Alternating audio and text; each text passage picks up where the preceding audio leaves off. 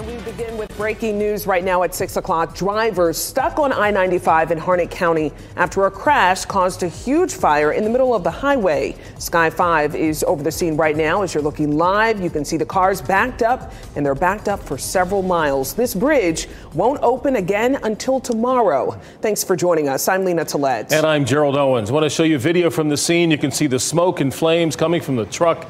We have live team coverage tonight. Mark Boyle is watching traffic conditions from the Live Center. We begin with Eric Miller in the breaking news tracker. Eric, you spoke with the person who recorded that unbelievable video and saw the whole thing happen. What did he say?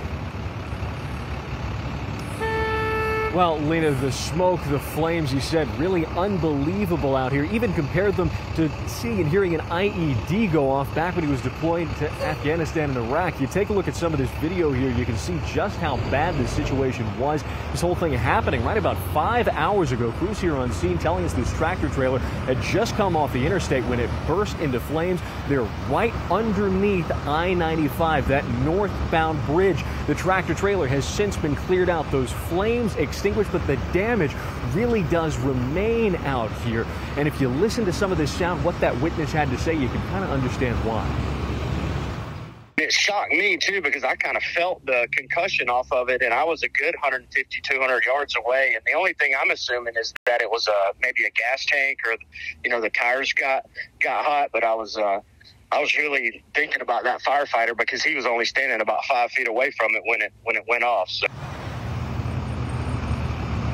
Yeah, thankfully, no injuries out here today. The fire crew made it out okay. The driver of this tractor trailer okay tonight as well. But the thing is, it's going to be a long time before these roads reopen. I 95 northbound as well as 421 northbound both will be shut until 7 a.m. tomorrow morning. That's 7 a.m. Wednesday. So a major headache for drivers headed through this way. Get over to Mark Boyle with that side of the story. Mark?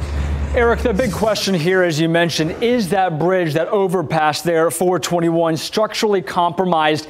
The road has to cool down essentially before crews can get out there and take a look. Sky 5 live over the scene right now. This is the area where that crash happened.